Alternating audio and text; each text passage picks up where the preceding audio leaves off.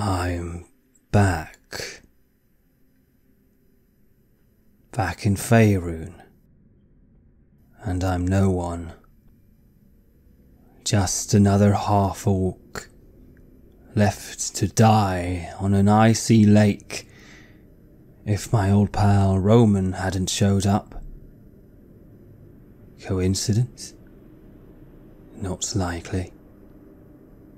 Whatever it was that pulled me off my throne, my place of power, and out into an icy waste, did not do so in charity. They've been feeding me power all these years. How many years? I don't know. No one ever kept count, and there were no seasons. No spring with blossoms, no warm summer sun, no autumnal earthy smells, and no winter. Only decay. And these strange powers that allowed me to rule a kingdom. There, my existence meant something. I had found my end of the road. I had a kingdom, and I was meant to live and die there. Now, what do I have?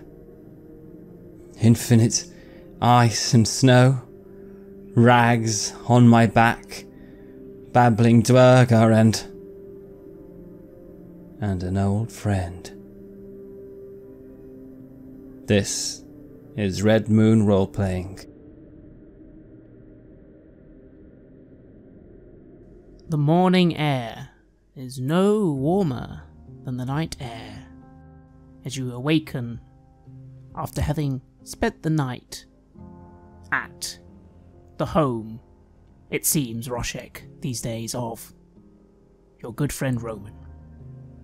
You slept in a bed, a comfortable bed. Maybe it wasn't as grand as a bed you remember from before, but you also remember that that bed never felt like it gave you a good sleep. The sheets were always dirty, the ground, the bed frame hard. This was a simple bed, and yet it might have been the best night's sleep you've had for a very long time. As you awaken and all begin getting your gear and equipment ready, what are you doing, Roshek, in this little. You suppose it must be a sort of outhouse, infirmary type building. It doesn't really seem to you like a temple would, but perhaps that is the humility of a priest of Ilmater. I uh, am looking at the things that I have here. The leather armor that I was given. I've not been wearing armor for such a long time. I've not really worn anything but, well, the fancy clothes that was given to me and tailored for me, and somehow this feels more right as I test the firmness of the leather in my hands. I look at my hands and they're soft, they're, they're not calloused like they used to be way back when me and Roman had our first, well, adventure, I suppose it was. Started with wolves ended up with me being lost and him. He seems to have found happiness. I don't think I should. Uh, I don't know. Maybe it's best if I try to make myself out of here at some point. Either I'm gonna end up in misery again, or it's gonna come with me onto him. But then again, if I do leave him, maybe that's just what I did wrong. Setting off by myself like that. I don't know. Well, I buckle it all up, I get it on me, I get the extra furs put on top, all the extra lining that's necessary here. I can't believe I'm actually gonna take on all this stuff just to keep my body heat. But I guess these people know if this is how they live. As I put my belt on, I, it feels a bit empty, almost, not to have a sword there, or any kind of weapon. I try my powers again to call upon a weapon in my hands, and I I stand there for a while and I let it play around. I let it turn into a, a long sword over to a over to a quarter staff with swords on its ends, like a some sort of double-bladed scimitar. It's interesting this. This gift that I got to keep. I just wonder what will be expected of me in return for this. For now, you do not know. But it is pleasing to see these weapons form in your hands. They will do the job. They are, of course, not as powerful as true magical weapons made of exotic materials. These are simply weapons formed from your own energies, but they do the job well enough. They do the job well enough. I hope they will. And I stand there and I'm not hungry. I I could have never stopped eating yesterday, I think.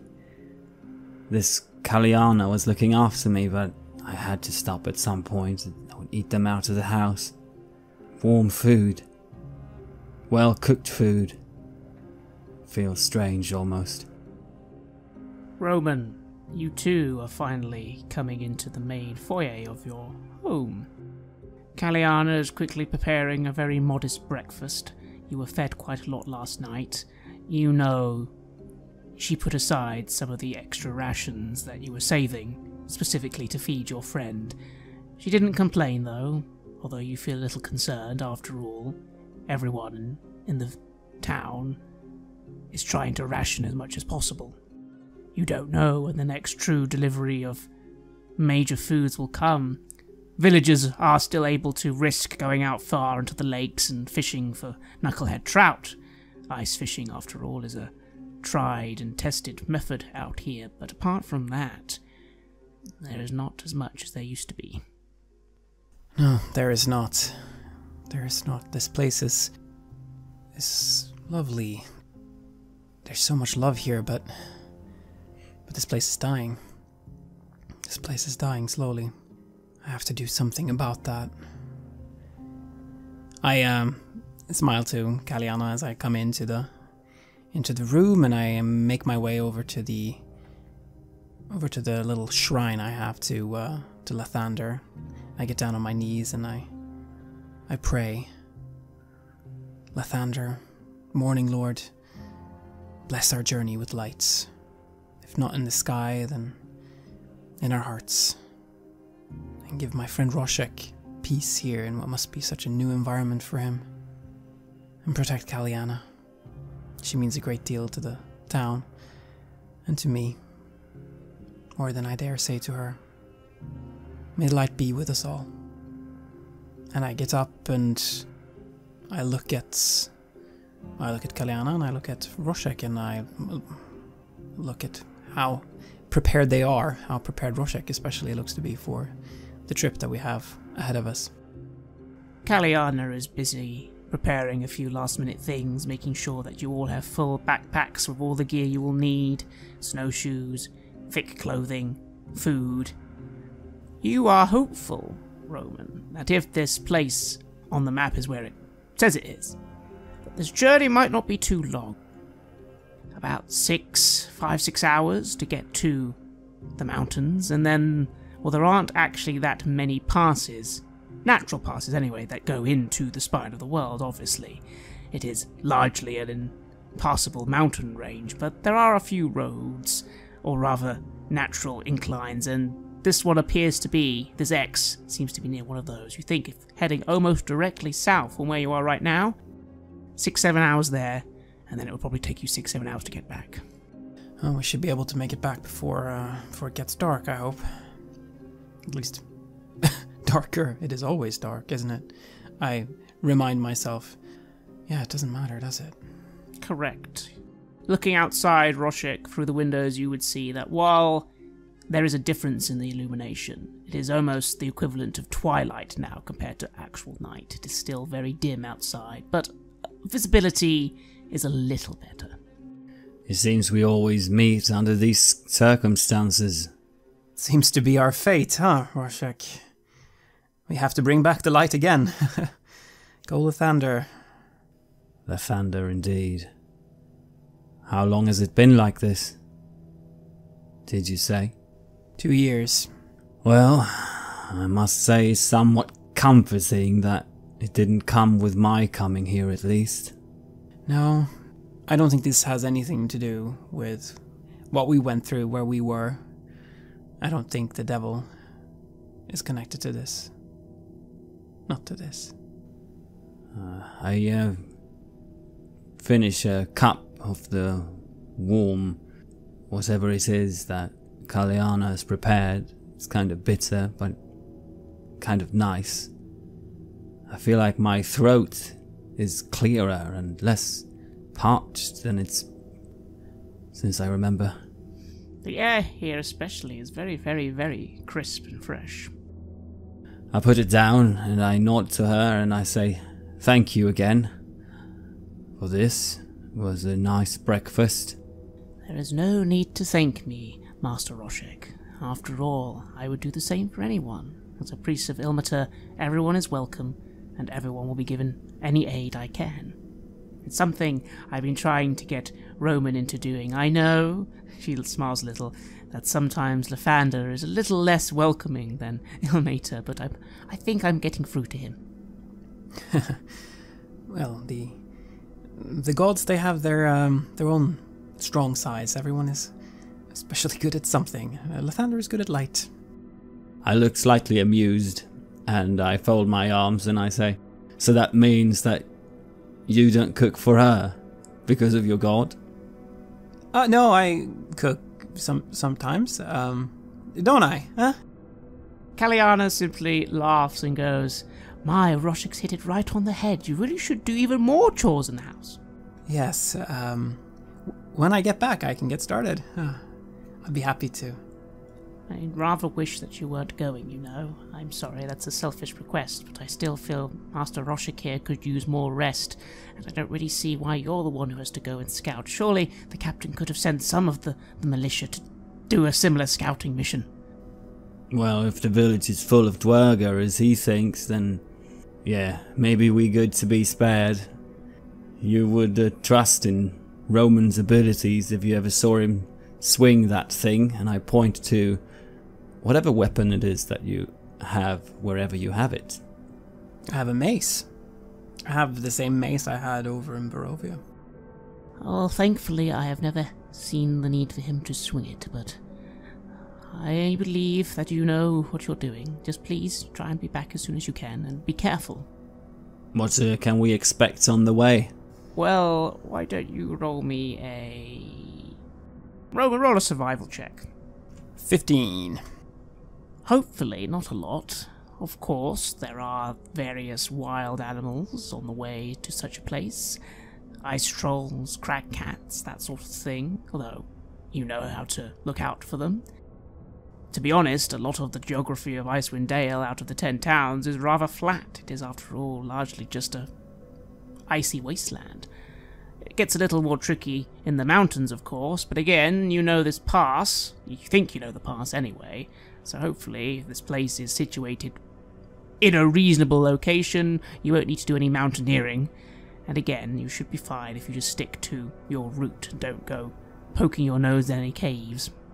Yeah, that's right. Ice trolls, crag cats, but as long as we stick to the road, we should be just fine. Well, road, as long as we try to just make our way directly uh, there without going around looking for trouble or trying to awake something that is asleep, you know. Hmm. Well, I'm curious now. I've never seen crag cats or or ice trolls, and whatever it is on that map, it's probably something important. Oh, I'm I'm certain it is. I'm certain it is, and I think we'll need our strength for whatever is waiting for us there. So yeah, let's try to not get the attention of any critters on the way. I'm gonna start sweating soon if I don't get out of here with all this on. But I'm sure you know what's best. We should start to leave soon. We just need to finish up the packing. I think uh, has done a really good uh, job getting the, the, the packing done. Uh, so thank you again for that. I, you're always so so nice to me. D- it does. I quickly turn away, seeing that he's starting his romantic stutter thing, and I just go out the door to leave them in some privacy. I'm sure you'll be fine, Roman. I just will be praying for your safe return as soon as possible. Um, thank you. Y- yeah. Um, yes, I'll be back. Don't worry. I say, and I, I put on my bravest smile. Um, me and Roshek, we we've been through a lot. This is nothing. He seems important to you. I worry about him, though. I feel there is a darkness upon him. Perhaps he has not seen the light of either Lathander or Ilmater.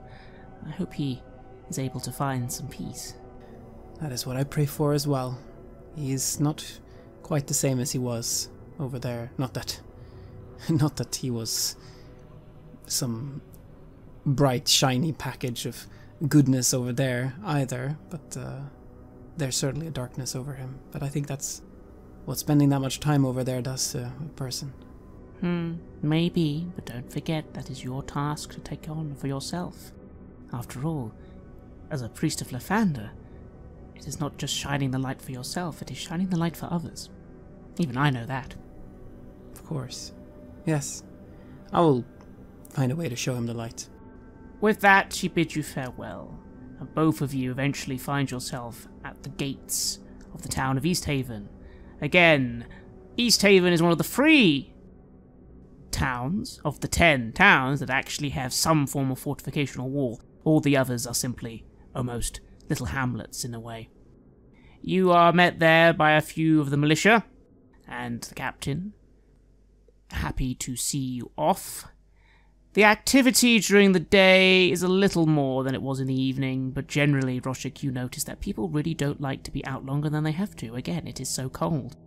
People try their best to get to the supply houses, do a few of their tasks they need to do, but they very quickly try and get back in buildings near fires.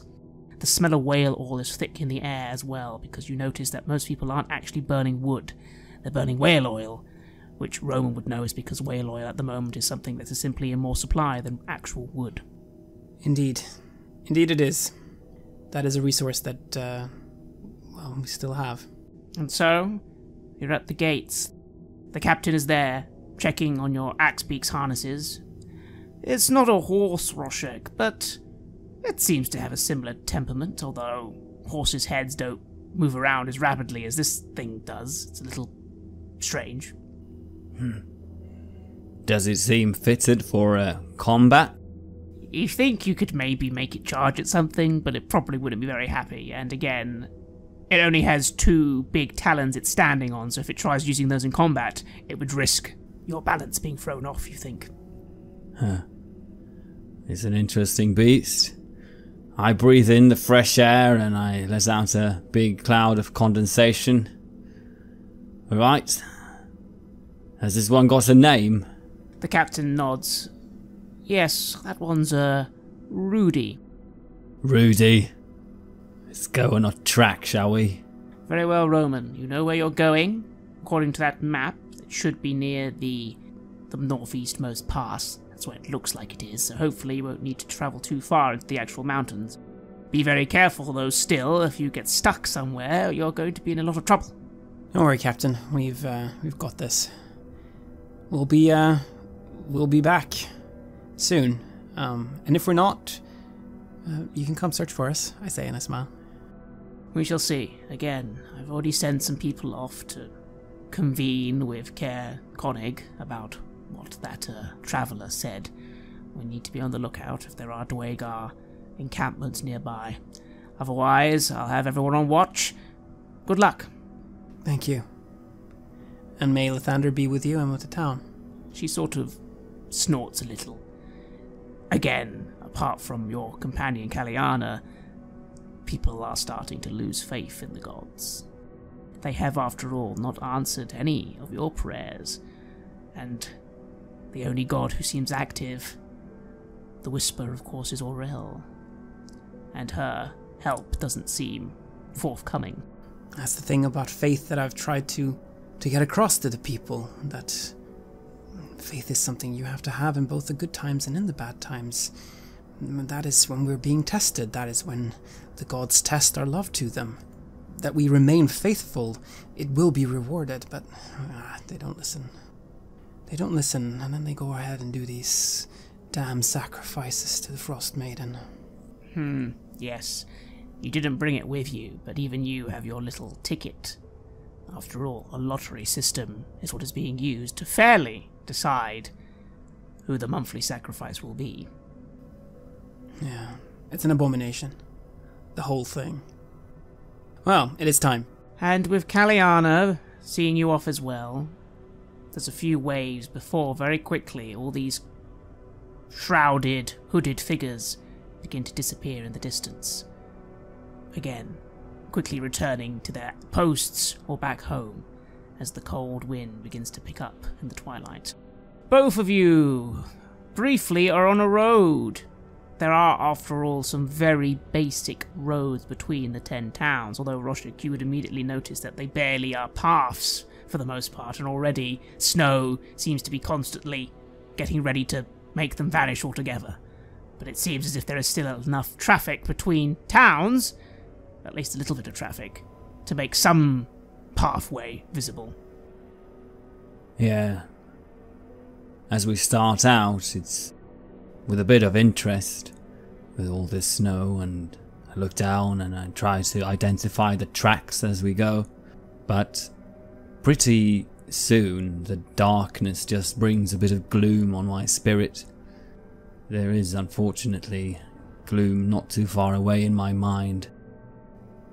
And I try to imagine to myself what this place would look like in full daylight, all glittering and covered in snow. Now you still can only see so far ahead of you, and I get irritated. Your irritation is interrupted when you, Roman, notice just as you're about to depart from the path and begin heading south. That is, after all, where you want to go. You are looking at the great looming shadows of the spine of the world mountains. Even from this distance, they are intimidating, and you know they will only get bigger the closer you get to them. They extend all across the horizon to the south. After all, the spine of the world mountains pretty much border the entire region until you get to the Reghed Glacier itself in the far east. But there is some activity. There's actually someone heading on the road towards you, or rather, they would be heading towards you if you were about to then leave the road to go south. You hear the sound of dogs, or I suppose it's better to call these wolves in this part of the world. But these sled wolves, three of them, three sleds, are coming down the road. You can't quite see who's riding them just yet, but there does seem to be a little bit of torch on one of them, giving them some light. What do you do? Hmm. I wonder who those are. Am I. Is there anything strange about this to me? That there's travelers on the road? I suppose that's something that we do have from time to time, right? You do indeed, but it is a rare occurrence these days. Never mind free sleds, all coming quite quickly. Well, uh, I get ready to uh, meet and greet them, try to figure out what's going on. If they carry some malice in their hearts, we might be able to find out now and maybe even get back and warn the town in case they're out to cause trouble. Roshek, what do you do? Roman seems suddenly keen to stop and wait for these people to come to you. Hmm, do you signal anything or say anything? Yeah, let's see what who, who these people are. Make sure that they're not a threat to the town or, or have some kind of raiding party or whatever it could be. Uh, sure. I discreetly let a small dagger form in my hand out of sight. And you wait. The the wolf sleds begin to slow down. As they get closer, you think you can see two of them to the left and right seem to be being piloted by rather diminutive individuals. Like, small, but again, you can't quite see what they look like. Again, they are shrouded and covered up with brown hoods and fur coats. But there is a larger sled in the middle, and that has a individual twice the size of any of these beings. They are riding along with two, again, small figures. So, in total, there seem to be six smallish figures, and then on one of the sleds, a far larger being. As they all start slowing down, the one at the front, with the larger being on it, begins waving their hand, a sort of like, Oh, hail! Hail there, travellers! Hail! And I wave back. Hail. Well met. I follow his lead, though I don't say anything. I raise my hand. I say, two brave young folks on the road, eh? You you wouldn't be able to give an old woman a little bit of assistance, would you? Hmm, perhaps. Who are you and where are you headed and what do you need help with? Ah, yes. Well, allow me to introduce myself. My name is Vellynne. Vellynne Harpell. She gets off her sled. Again, the wolves seem quite happy for a moment of rest. The smaller figures all are fidgeting a little, sort of chattering to each other. You can't quite understand what they're saying. It's it sounds a little bit like gibberish. The individual coming towards you is speaking with a in common. As they come a little closer, you get a little peek. You can't quite again see what they are, what they look like, but they seem humanoid in general appearance. Ah, well, I won't keep you too very long. You see, I'm heading to, uh, it's East Haven this way, yes? That would be it. Yes, we've just come out of there. What are you uh what are you traveling there to do? Well, I've been travelling around for the last few weeks. I- I'm looking for someone. Uh, I don't suppose you are locals to East Haven by any chance. Oh, we are indeed. Oh, wonderful, wonderful. There has been a traveller come through uh, the last week or so. Uh, a young lady, uh, a Nass Lantomir. Hmm. Nass Lantomir. Did I actually hear the name of that al- albino lady? You did not. I cannot say that I recognize that name, no. What does she look like? Oh, a youngish woman, uh, big glasses, uh, probably carrying magical trinkets on her, uh, probably uh, looking to hire people for some sort of uh, possible uh, expedition of some kind, maybe? No? No. No, you have not heard this name, and you know the only travellers of late have been Roshek, and of course, two or three weeks ago, the wizard, who now is, well, you think his remains have been cleared away by this point. Hmm. No, no, we haven't had travelers for a few weeks actually. Um, you sure she went to East Haven? No, no, I've uh, been looking around all the other towns. Uh, I see. Unfortunate. Unfortunate. No travellers at all, you say? Okay, well, that's good to know. Hmm. You notice that at this point, that on her shoulder, you didn't quite see it at first because it blends in so well with the snow, but there is actually a snowy owl perched on her shoulder. Again, the voice is sounding very feminine at this point, so you're thinking it might be a woman, maybe even an older woman. Well, uh, we shan't uh, hold you any longer, but you said you needed help. Was it just the information, or is there anything else that we can do for you? Hmm. Well, I don't know. You two brave adventurers going out into the wilderness, uh, raiding tombs, defeating monsters, saving uh, people in distress? Well, something like that. Yeah, wonderful, wonderful. Well, maybe. well, no, no, I should probably be probably be heading to East Haven. I don't want to be out in the cold all day. After all, this far north, it's frightfully cold, isn't it? Pardon my curiosity, but she is setting up an expedition, did you say? Were you going to sign up yourself? She pauses for a moment. Hmm. Mm, She's someone I wish to find. Uh, she, well, well, if I'm honest, uh, she, she, she has some things that belong to me, uh, and she borrowed them, but didn't let me know she was borrowing them, if you get my meaning. I'm hoping to clear up the misunderstanding. Oh, she stole from you. Hmm. I say that as one voice with Roman. Yes, correct. But she didn't mean to steal from me. It's all a bit of a misunderstanding, you see. But again, I'm looking around because I, she has to be somewhere in the Ten Towns. It's not like she's just ridden off by herself. East, hopefully. Well, I I do wish you the best of luck in in finding her. What do we do if we find her? Hmm. Ah, well, if you find her and I'm still in Easthaven, bring her to me. Uh, you know, nicely, nicely. Uh, again, I just want to clear up the misunderstanding. What what did she steal from you? Oh, nothing you'd understand.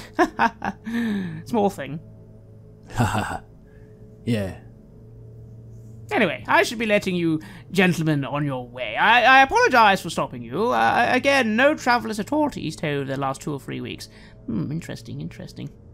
No, no, not not since then.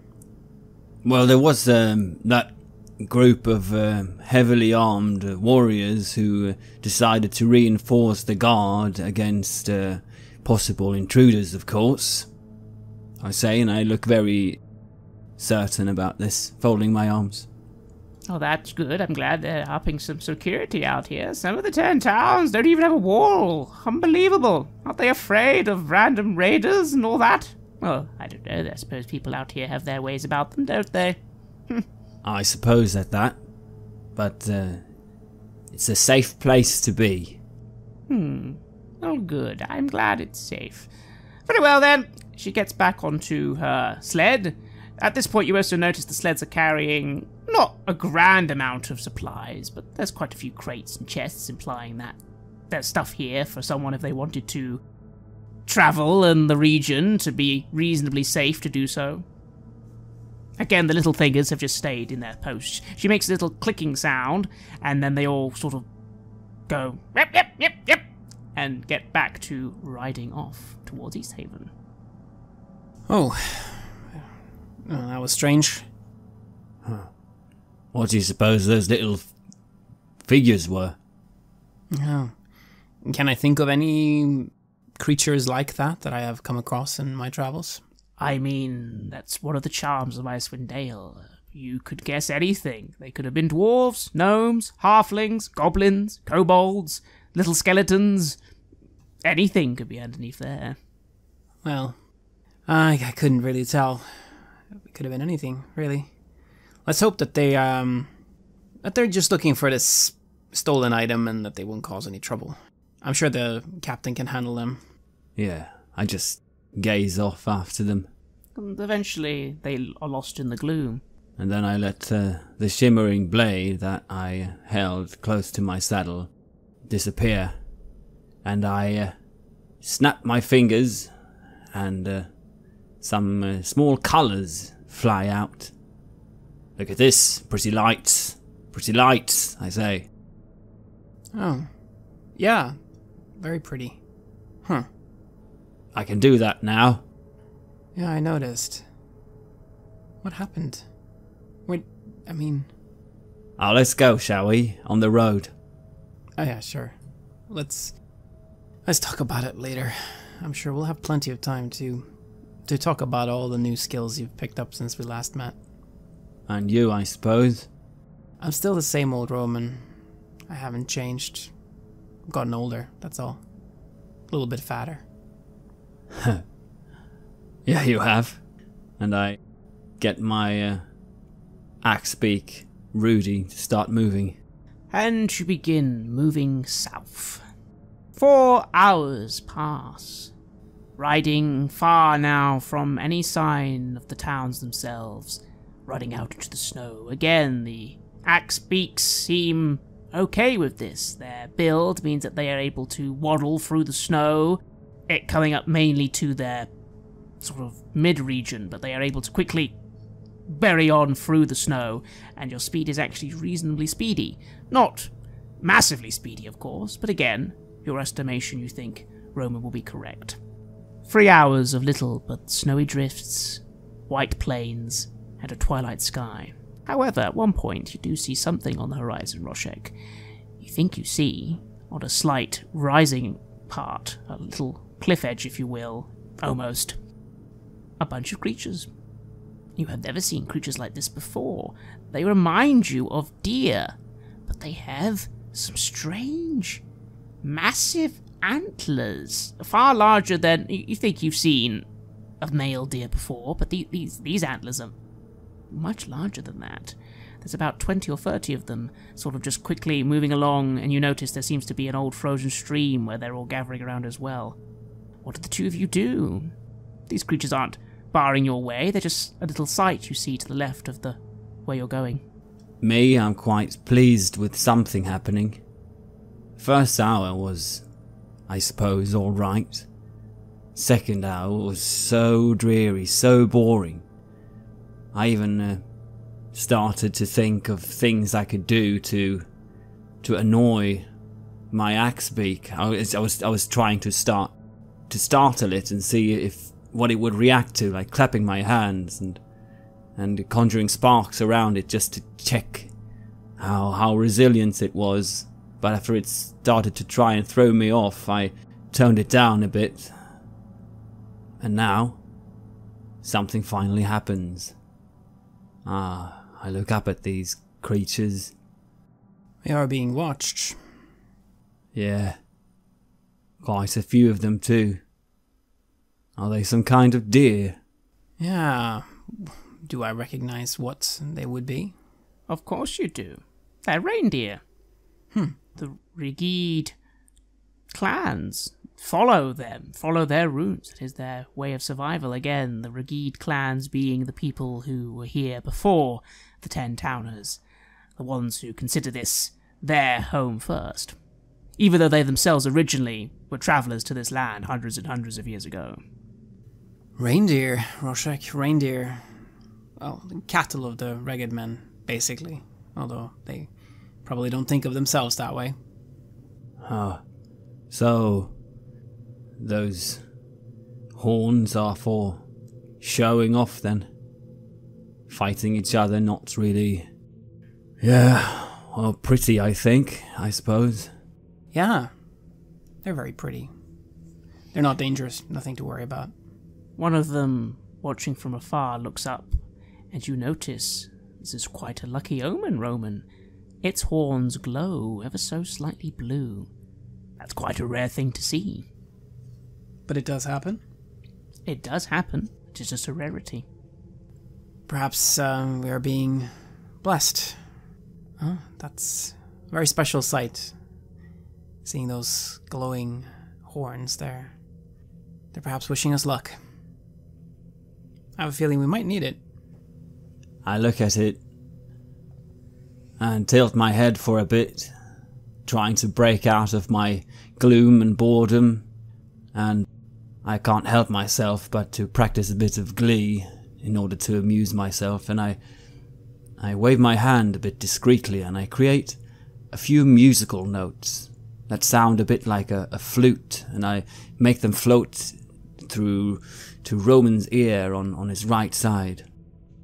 The sound is pleasant, probably to Roman, but as it carries itself across the otherwise silent tundra, these deer, these reindeer, do hear it and are skittish. Immediately, the adult ones, with the largest ones, sort of step to the front, and the rest quickly begin darting, darting off into the distance before the whole little group are gone from sight.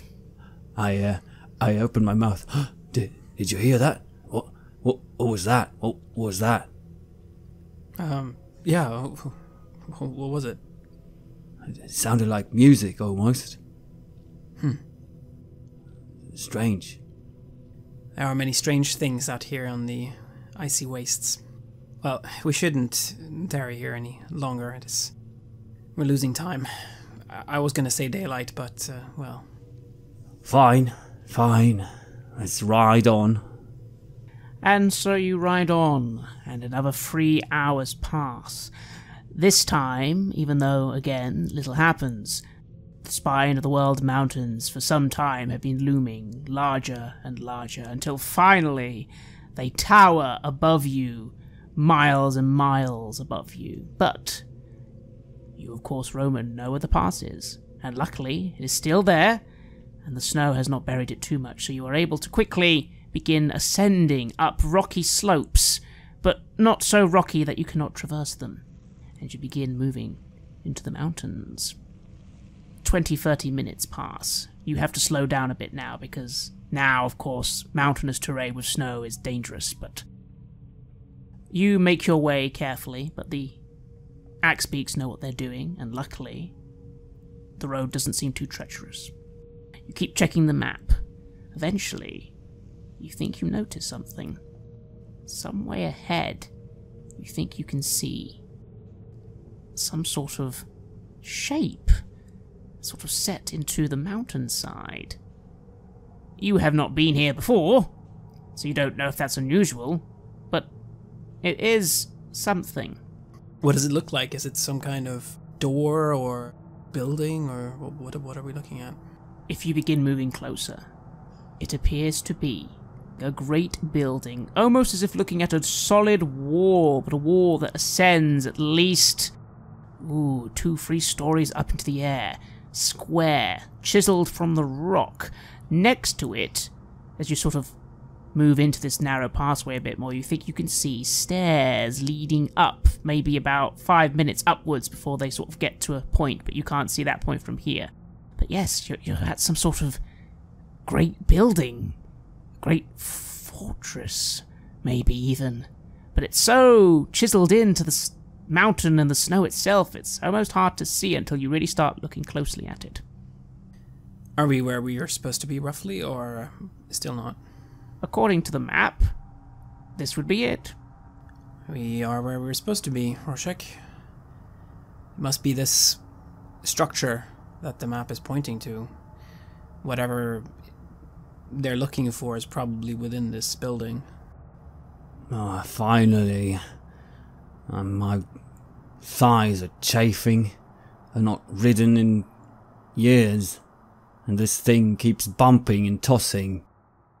Ah, it takes a little time to get used to it. Um, I'm sure you'll be fine uh, on the way back. Um, well, let's let's move up as close as we can, I guess, and try to tie up the axe beaks if we don't think we can bring them further in. Hmm. While you're doing that, can everyone roll a perception check? Sixteen. I roll a, a one. Roshek, this is truly an impressive sight. You think to yourself, some sort of large structure that, and it's been dug into the, the mountainside? Oh, maybe it's an ancient ruin, or there's great treasures within. It's very exciting. Roman, you hear a sound. While Roshek is starting to sort of move forward on the axe beak, you kind of take in your surroundings for a moment. You're on sort of a very narrow pass, but there are a few natural, almost caverns. Not very large, but sort of just like, you know, that you could dwell in them if you wanted to stay off the main path for a bit. There's a rumbling.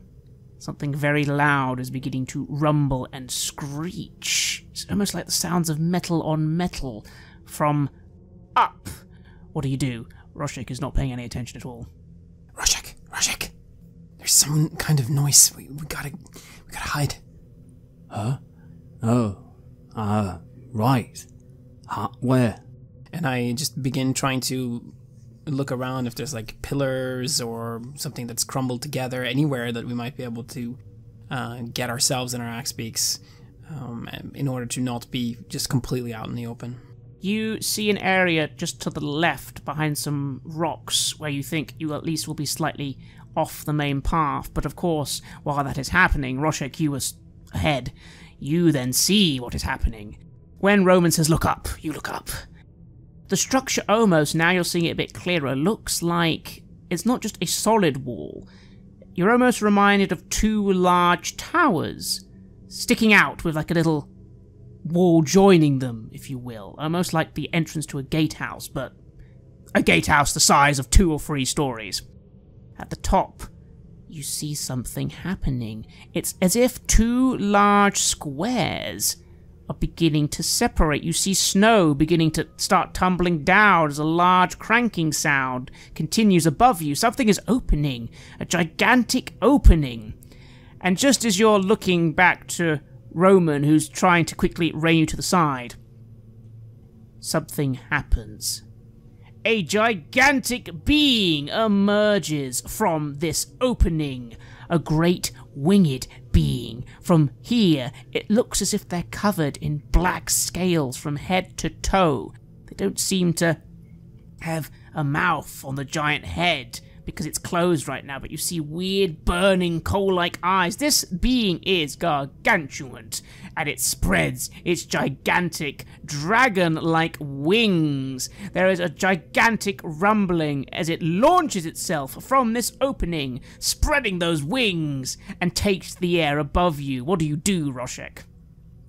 I uh, have time to curse, and then I try to get in towards the side of the mountain, try to get into some kind of cover.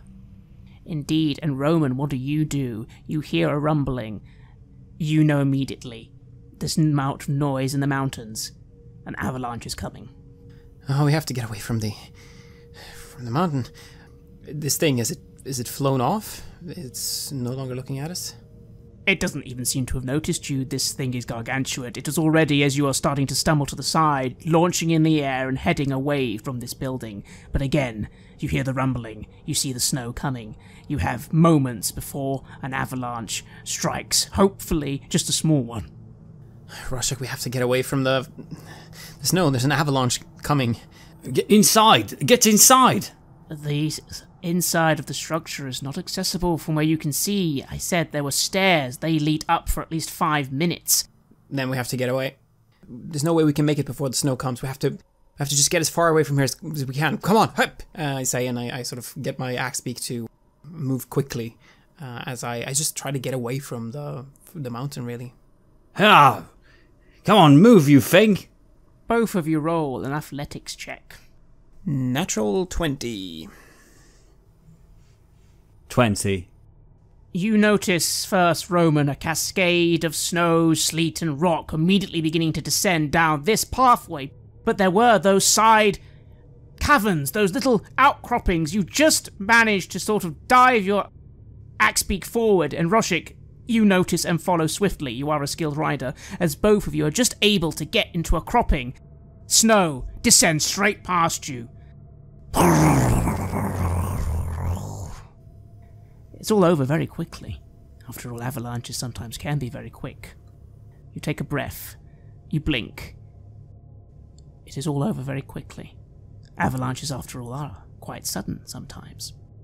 Your axe beaks have been a little submerged in snow, as have you, but it was only a sort of bit of a snowdrift coming from the main path. The entire path you were on has been swept away, but the snow keeps going and the sound dims and you think you can hear the sound of something again a lot quieter but still the sound of metal on metal as if one of you were to peek a little you have to kind of shoulder your way through some snow.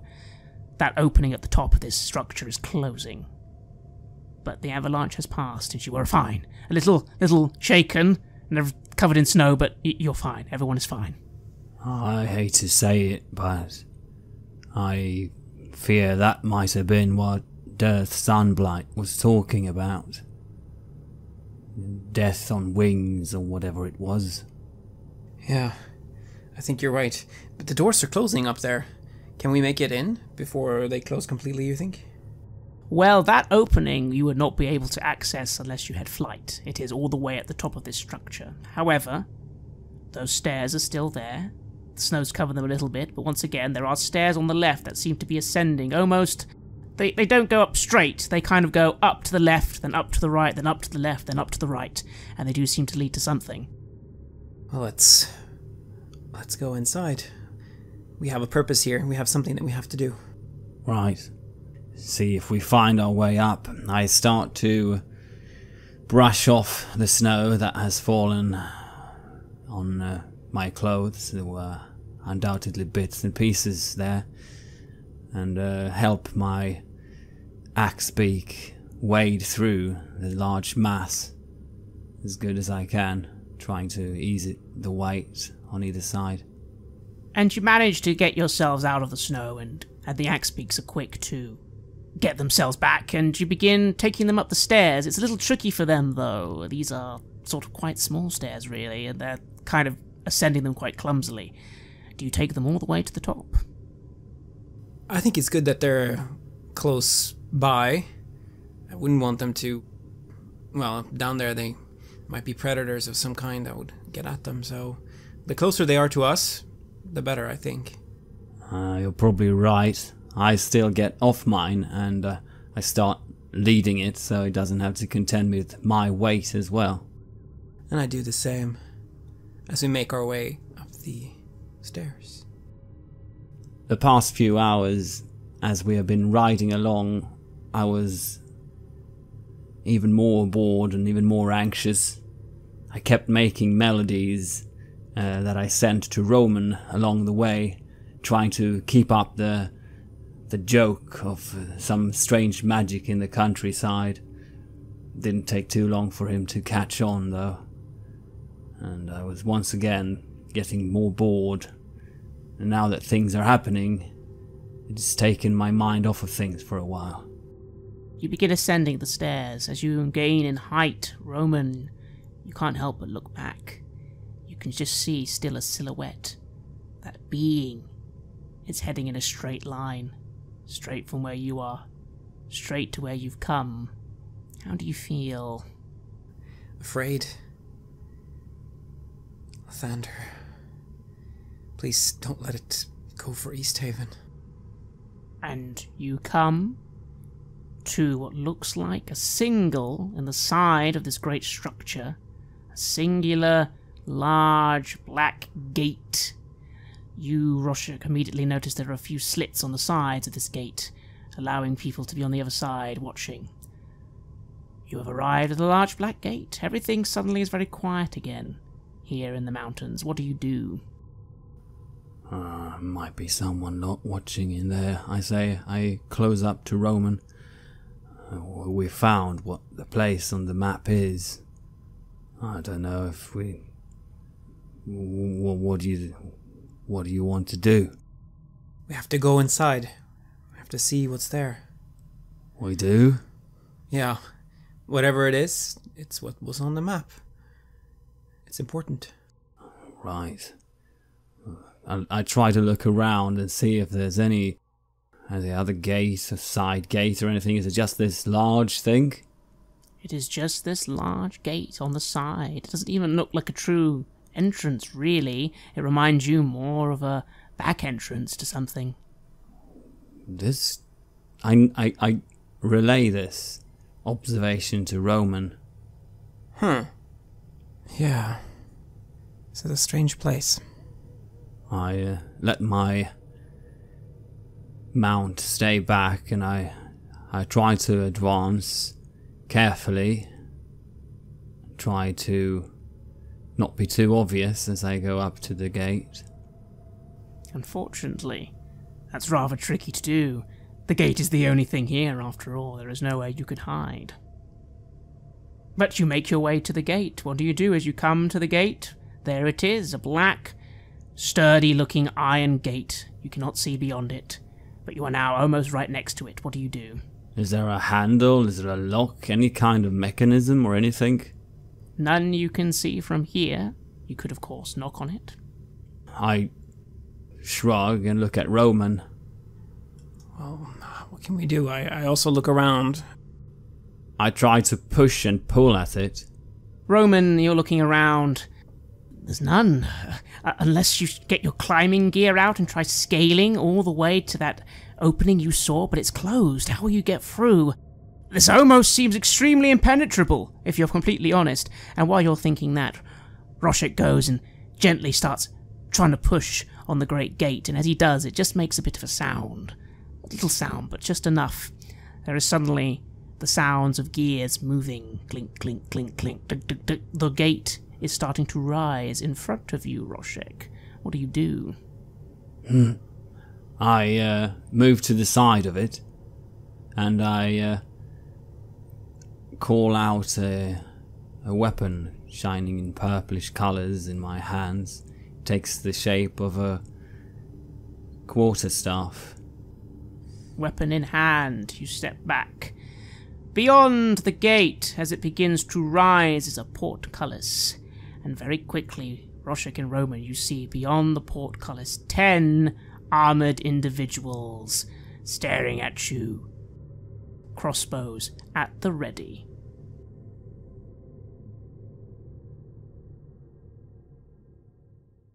You have listened to an episode of Red Moon Roleplaying where we played Icewind Dale, Rime of the Frostmaiden, for Dungeons & Dragons 5th edition. The music was created by Flowers for Body Snatchers, Ugasanie, Word Clock, and Metatron Omega, and was used with permission from their label Cryo Chamber. Check them out at cryochamber.bandcamp.com or their YouTube channel for more dark ambient. We would like to give massive thanks to our champions of the Red Moon, Martin Heuschober, Nastasia Raulerson, Simon Cooper, David, Julia, and David Hagberg for their generous support. And we would of course like to thank all of our other patrons. Without your support, this show would not be possible. If you want to support our work, please check us out on Patreon. You can get access to bonus campaigns for KULT Divinity Lost and Coriolis there, as well as get early and raw access to all of our recordings. You can also hear your name read on the show as a champion of the Red Moon, as well as play KULT with us. Most importantly, that support is what keeps the show going, so do check us out there. May Lathander protect you and fill the world with light.